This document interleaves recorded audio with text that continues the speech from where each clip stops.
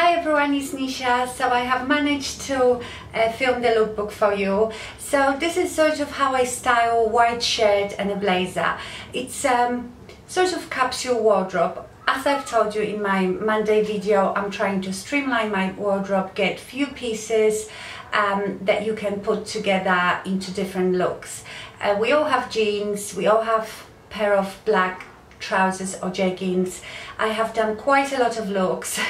I could have gone on and on. I could mix and match forever. So um, at first what I was going to do was to uh, go through each outfit with you but because I've done quite a few it would take far too long. I will just tell you that I've used three blazers. One of them is quite old. The other two you just saw in my haul video most of the shoes are new as well that you've seen on the haul video and I've used just two white shirts. This one that I'm wearing today, you've seen in a haul video, that's the mango one, and and that well, you didn't see the other one. The other one is from Top uh, from Topshop. I don't know if they still do it, but what I will do, I will list each outfit separately like all the jeans that I have used are jeans that I've already had. So I might put the make of the jeans but um, I won't be linking them because obviously they they are not available anymore.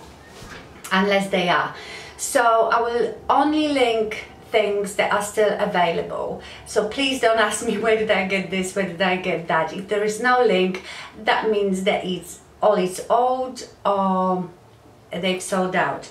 Um, I just wanted to show you in one of the outfits and couple of the outfits. I use little ne neckerchief. I have noticed I've been seeing quite a lot of um, a neckerchief being worn different way on your neck or even tied to your handbag.